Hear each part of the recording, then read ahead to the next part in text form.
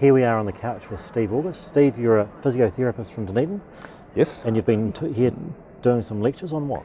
uh, I've been giving two two-hour lectures to the uh, medical conference on practical management of low backs, uh, upper backs, necks, sacroiliacs, coccydynia, and failed back surgery. So anything to do with spines. Right.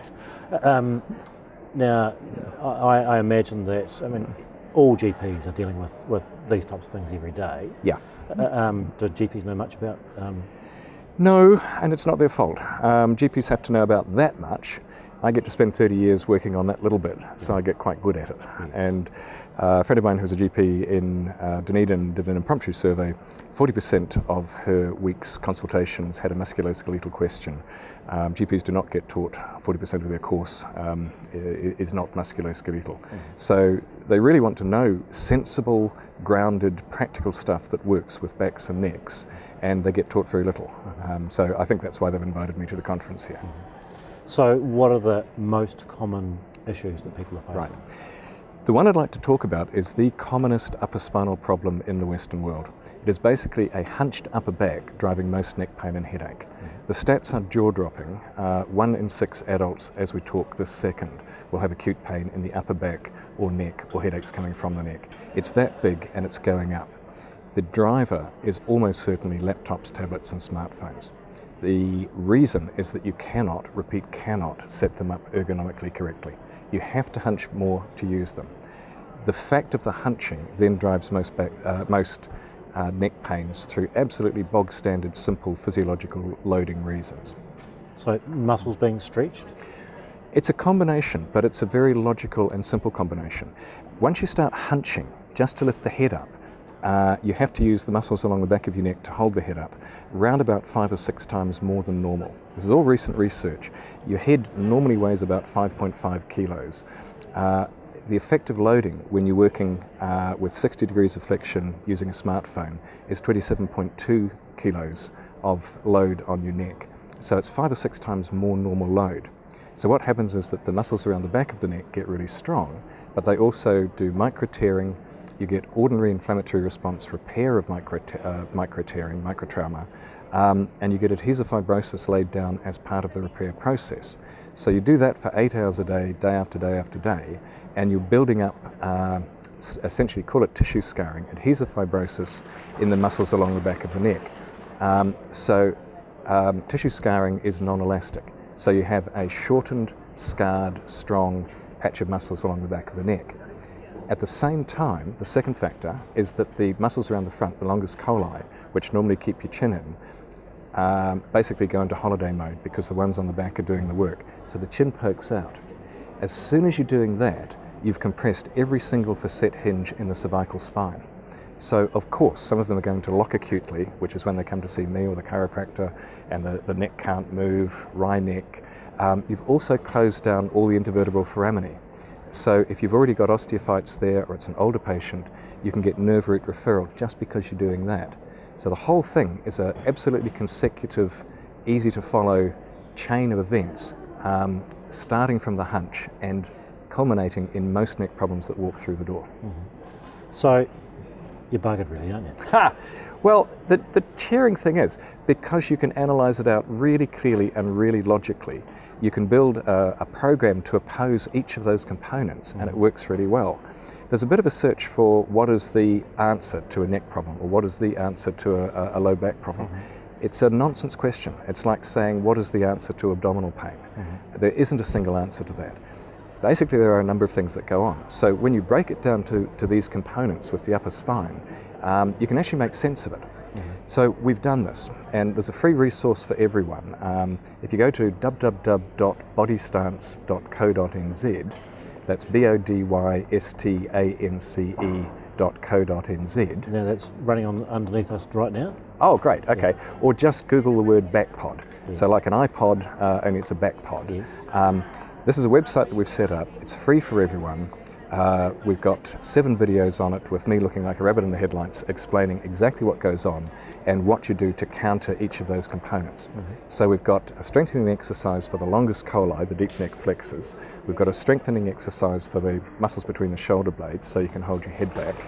We've also got home massage because the muscles along the back of the neck get really scarred, and massage is the best delivery technique for easing that off. This is all stuff they can do at home ongoing, mm-hmm. Um, and also explaining about posture, which is very simple. It's shoulders back and down for the upper back, and chin in for the neck. Mm-hmm. So they've got the tools to look after their own neck and upper spine at home.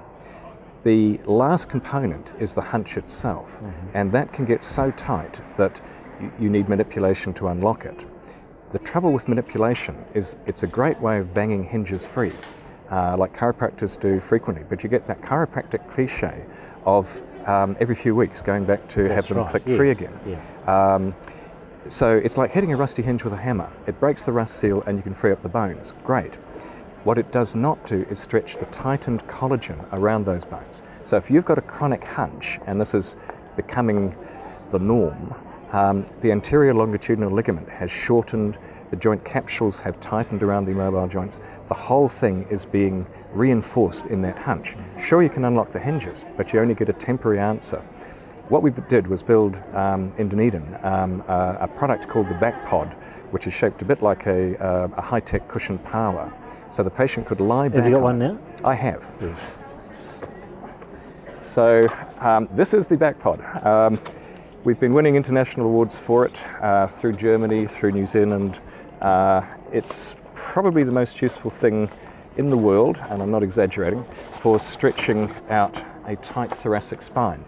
So it's an unyielding polycarbonate core with a cushioned outer. Uh, looks a little bit like a power. Basically, you lie back on it, and it uses your, the patient's own upper body weight as the force uh, to stretch out the, the tight collagen so you can actually get a permanent um, freeing up of the thoracic spine. It's, it's the component you can't do yourself. Nobody has the leverage uh, on their own. You have to use an external force to stretch this stuff. But so we find these are great. Uh, put it between the shoulder blades and yep. Put it between the shoulder blades and lie back down on it. Yes. Um, it's on our website as well, yeah. and EBOS has them. They normally sell through most pharmacies for about $70 or $80. Right. But we genuinely think it's probably the most useful thing for anything for the upper spine. Right. So, so it's used regularly. How, how often would you use it? Well, it's very much like stretching a hamstring. If you do a stretch for one minute on a hamstring, it'll feel nice and free afterwards. Do that most days a week for a few weeks and you're getting towards a permanent improvement. Same with this. Um, so you use it for about five or six minutes, moving it around up and down the, the middle back. All it is is providing enough leverage to actually stretch out the tight stuff, which is otherwise keeping you hunched, mm-hmm. which is then driving most of the neck problems. It's bog standard logical. I imagine just laying on the floor with that would be quite painful. Um, the one bit of negative feedback we've had, and it's the only bit, we've sold about 9,000 so far in New Zealand, um, is that if you bang straight onto it and your spine's too curved and too tight, um, it will feel sore because it's requiring the spine to, to stretch backwards.